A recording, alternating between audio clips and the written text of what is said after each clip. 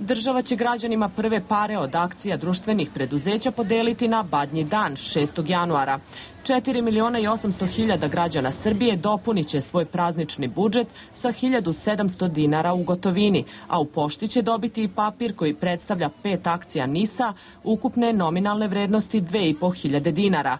Ministar Dinkić ne želi da preuzima odgovornost za tako nisku nominalnu cenu koja je, kako kaže, politička, a ne tržišna procena koju sam iznao krajem 2007. početkom 2008. godine da će ceo ovaj paket vrediti 1000 evra, ja iza te procene sam stajao u tim vremenskim uslovima. Umeđu vremenu su se dogodile dve stvari. Svetska ekonomska kriza, s druge strane ne mogu da odgovaram za to što se neko drugi politički dogovorio da ispod cene nis proda. Za taj deo ne odgovaram. Akcije najbrže možete da unovčite odmah posle 6. januara i to putem kupoprodajnog ugovora gde snosite troškove overe u sudu, te ćete tako najmanje zaraditi. Drugi način je da prodate akcije NISU kada izađe na berzu za 2500 dinara.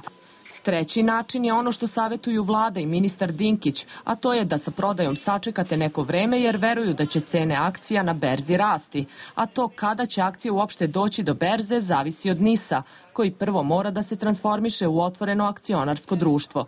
Što se tiče vlade, svi uslovi su ispunjeni, jer mi njima sada dostavljamo knjigu svih akcionara i više nema ni jednog formalne prepreke da se oni ne otvore kao akcionarsko društvo. Prema našim saznanjima, Upravni odbor NISA je done odluku da se transformiše tek u junu iduće godine. Tek tada će građani moći da prodaju svoje akcije na berzi preko poštanske štedionice koju je vlada ovlastila da bude besplatni broker. Identifikacija se vrši vrlo jednostavno putem lične karte.